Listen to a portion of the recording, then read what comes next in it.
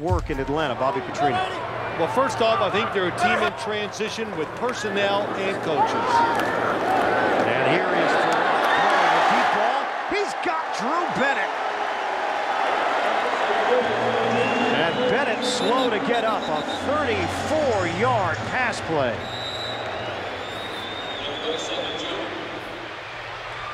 He got crushed after hauling it in.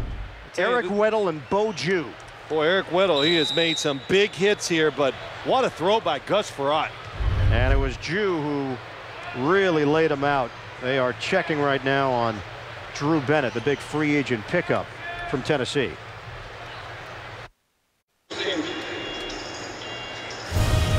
The NFL on CBS is sponsored by new Aleve Liquid Gels. The strength of Aleve meets the speed of a liquid gel.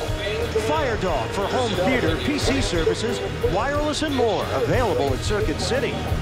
And by McDonald's. Now, Drew Bennett, good sign. He was able to get up on his own and jog off the field after this hit from Bhawoh Jue. Gus Frerotte wanted to throw it outside. It was covered. Sees Drew Bennett down the middle. Takes the tough, tough hit. Catch the balls inside the numbers in the NFL. You're going to take hits. I look at Drew Bennett, though.